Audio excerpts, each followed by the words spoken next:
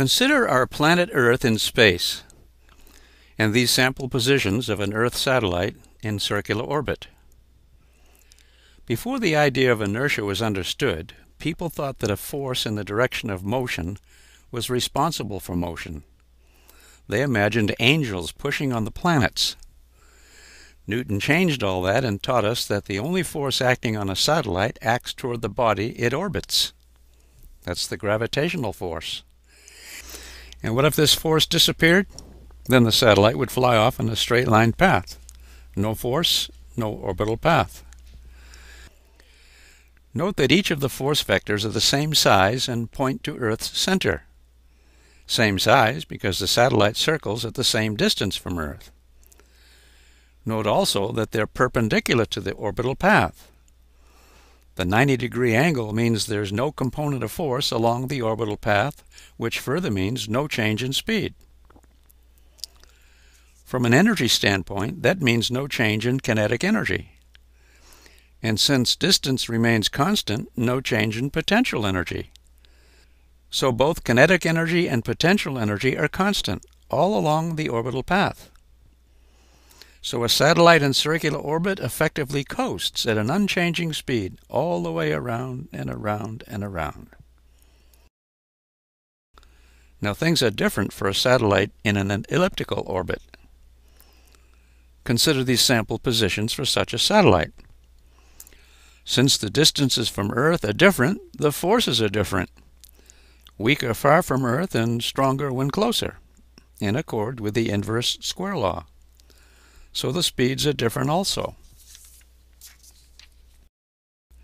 Kepler was the first to discover the elliptical paths of planets about the Sun early in the 17th century. He discovered that planets travel fastest closest to the Sun and slowest farther away. But he had no explanation as to why. Just as a projectile tossed upwards slows as it rises and speeds up as it returns, so it is with any satellite. Kepler never viewed a satellite as a projectile.